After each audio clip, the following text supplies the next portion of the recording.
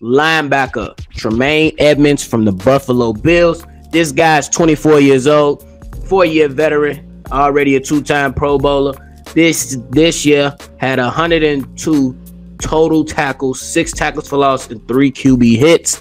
I think that this guy is young. He come in with a four five uh, speed, so that means he can run sideline to sideline.